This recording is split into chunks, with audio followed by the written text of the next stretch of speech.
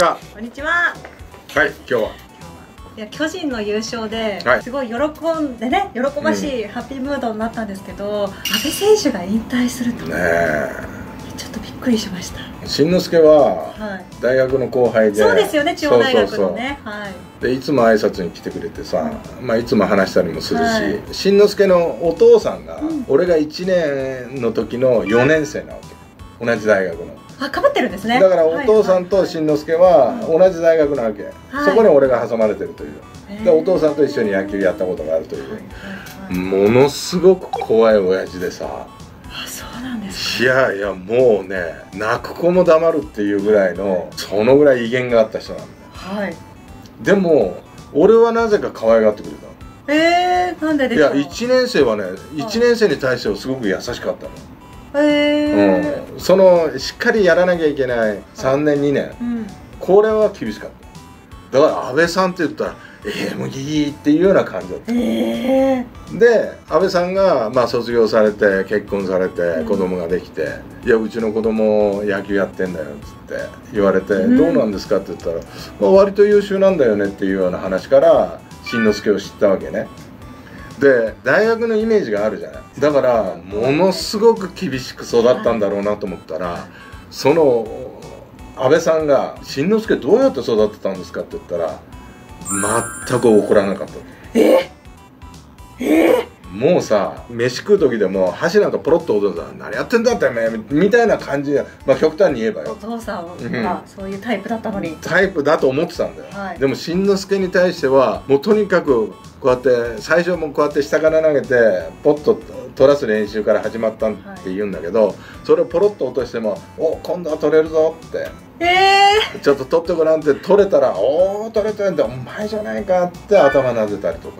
ー、褒めて。褒めて、ます。うん、えなんなんでですかね？本当に野球を好きになってほしかったとかそういうことですか？好きになってほしかったというよりも嫌いになさせたくなかったっていうことじゃない。でお父さんもキャッチャーやってへた、え、うん、で大学の時に初めてしんのすけを見て、あ結構いい選手だなと思い、でドラフトにかかるんだよって言ってでも後輩じゃない。だから嬉しいなと思って、はいはいはい。そしたら電話がかかってきてね「でだからちょっと一緒に飯食ってくれ」って言うから「どうしました?」って言ったら「しんのすけ連れ連れて行くわ」っつって巨人のドラフト1位にかかった後に。でプロの心得とか教えてくれって言うんだけど心得かとか思って俺3年で辞めようと思ってたから目が出なかったら。あ。野球を、うん。はい。だからもう遊びもしなかったし、もうひたすら野球に集中したっていう3年間を送ったんだけど、まあ、やっぱりそういうことが大事かなっていうことは話をしたのね。でもあいつ1年目からマスクかぶり。はいはい。それも原監督が長嶋監督に助言をしてるわけ。えなんて？ですかしんのすけで行きましょうって。へえで長嶋さんも「よし分かった」と「お前がそこまで言うんだったら」っていうことで開幕戦のスタートが決まったわけよ。で見事に期待に応えてだんだん大きな選手になっていくわけだけどもでも嬉しかったのは豊さんのバッティングの解析写真はいはい。連続写真はいはい。これ豊さんの貼ってるんですよと。ええでも時が来たら誰かのと変わってたりだとかなんか今日の記事見ると自分が失敗した時うんの見ました見た見た？見ました。毎日見てた。のうん、それを忘れないようにっていう。だからねはい。あいつはなんていうの？勝負に徹してたよね。勝つっていうことに関してね。まあキャッチャーから外れてファーストの時でもマウンド行ったら何をしてたかというとピッチャーとかキャッチャーとかにこうこうこうだぞってこうした方がいいああした方がいいとかもう的確なアドバイスをねなんかしてたような伝え聞くけどねでもバッターとしてはね天才だわあいつ。あそうですか。うん、丸があのツイストとかってやったじゃん、はいはいはいはい。それ最初にやったのはしんのすけでまあそういうバッティングはあったんだけども、はい。そういう形容詞を用いて報道関係に話したのはしんのすけが初めてなんだよね。でしんのすけがやっぱこうツイスト打法っつって体を開かないように逆にこうはい。あのひねるような感じだから体開かないじゃないそうやってバットのヘッドを走らすという。でそれも多分丸にそのバッティングでやったらって言って丸が結果を出したわけでしょあの時。あ教えて。うん、そういう打ち方もあるよっていう助言をしたと思うんだよね。でまあ新之助はねだからそういうバッティングもできるしでも今でもそうだけど左バッターでインサイドのボール打たしたらおそらくまだ一番うまいと思うんだよ。えー、もう天才的だから。何がですか？やっぱバットの出し方とかやっぱポイントの作り方。うん。へいやこれはね波じゃない。やっぱり400本も打つぐらいのバッターだし、まあ、あれだけのパワーもあるしやっぱ素晴らしいバッターがまた引退するなというね。だからなんで引退決めたんですかね？なんでだろうね、まあ、今度原監督に聞いてみようかなと思ってるのは一つはヘッドコーチの席が空いてるじゃない。監督の隣が空いてる。じゃな、はいいはい。はい。他は総合コーチとかいるけどはいだから長嶋さんが今の原監督をねはい。達を置いたように、はい。英才教育をし始めるんじゃないかなと思って。隣で。うん。可能性もあるという。まあ想像だけど。だかはいら今度それをぶち込んでやろうかなと思って。インタビューの中にね。あでも答えてくださったらすごい面白い知りたい。知りたいよな。知りたいですね。でもこのタイミングで新之助が俺言ったっていうのは日本シリーズまで行こうっていう俺を連れてってくれという。うんまあもちろん力にもなると思うし、はい。なんかそういうタイミングでどうせ引退するんだったらここで発表しちゃしちゃおうという。なんかそういう意図が見えるよね。うんまあ寂しくなるけどな。また後輩が一人いなくなるっていうのは、いやそうですよね。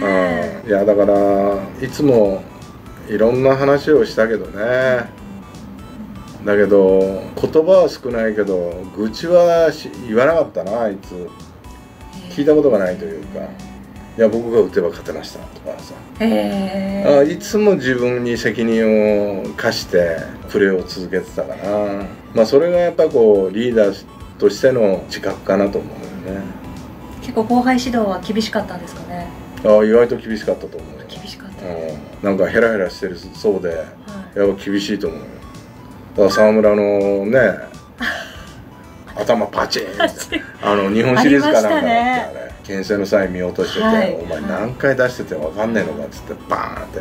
まあ大学の後輩だから多分殴ったんだと思うけどでもあいつが殴るっていうのは愛情があって殴るよね。うんうんだからまあそういった選手がいなくなるというのはまあ寂しいな。ね。まあいいキャッチャーだった。よ、うん、あ知ってる？知ってます知ってます。てか安倍選手といえばもうキャッチャー。もうイメージしかないです。そうだよな、はい、最初ねイップスでなへピッチャーに返すのが怖かったんだあいつ。ランナーがいる時に。えへえでイップスって心の病気だって言うじゃん、はい。いやだってランナーサードでさこうやってピッチャーにボート投げたら下手すりゃ1点になっちゃうから、でもそれを克服したんだよね。イップスってなかなか克服できないんだけどしんのすけはなんかこうやっぱ強かったんだろうね心が自分で克服していったというね。信じられないですねそういう過去があったというのがあそう。全然信じられない。うんもうなんか強い阿部選手しかあんまりイメージがないです。もう打ってましたもん私がこう野球を見始めた頃には。まあそうだろうな、、はい。や俺はもう入る時から知ってるからさ気にはなってたんだけど、なんか年々こうどんどん大きくなるっていうかさ、まあ、後輩もおリーダーとして作りみたいなね。だから、まあ、引退した後はいい指導者になると思うけどね。うん。まあならなきゃいけないしね、そうです、うん、今後もやっぱ期待してるよね、うん。うん、指導者として。もうちょっと痩せたらいいね。いや太りすぎでしょ。ちょっと。確かに私初めて東京ドーム行って取材した時に何がびっくりしたってちょっと安倍選手のお腹ちょっとびっくりしました。そうだろ？ちょっとこうテレビよりちょっと出てる出てました。いやは酒が好きなんだよね。酒も好きなの。なんですか。親父が半端なく飲む。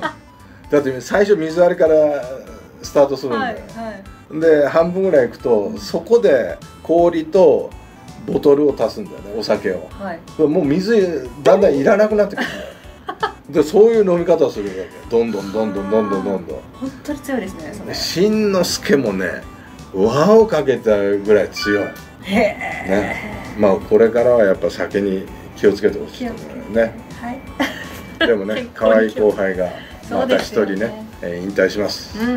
ね、まあ、ご苦労様でした。ね。お疲れ様でした、はい